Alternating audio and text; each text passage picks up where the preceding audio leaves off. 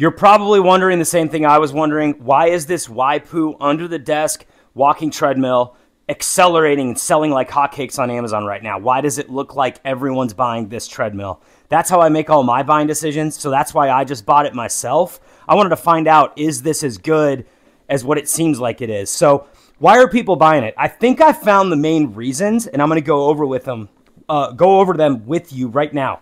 First thing, you might be able to tell, you might not be able to tell. I'm walking at a full incline. Cool thing about this is you're able to get a better calorie burn. So you can still be under the desk, but you can be walking at an incline, which to me is probably the number one selling point of this treadmill.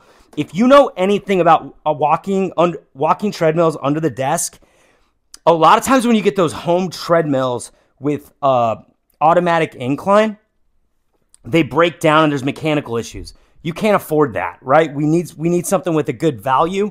This thing's perfect. Let me lift it up here and show you how it works.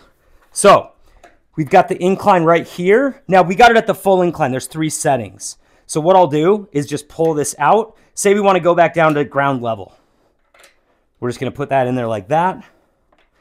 Take it out here. Put it in there like that. Now, we've easily adjusted it and we're back down to baseline at just floor level.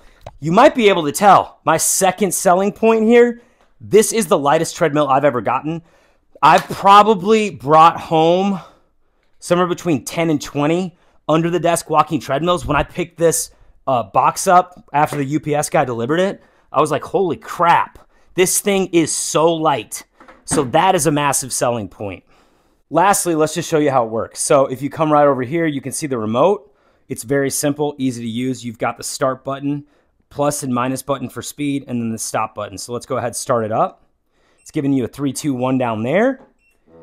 And this thing goes up to 3.7 miles per hour, which is much faster than you're going to need with an under the desk, under the desk treadmill. You're not going to be able to type at that. So you're going to be working at a much lower speed. So it's got some good options here. But you can see we, we show uh, the calorie burn there and then you've got the time, and it'll also show your distance. So it it's got all that stuff. It's very nice, super compact. Lastly, you even have wheels on the bottom to easily roll it. But like I said, even, I mean, anybody can pick this up. So this is just honestly really nice. I think you're going to like it.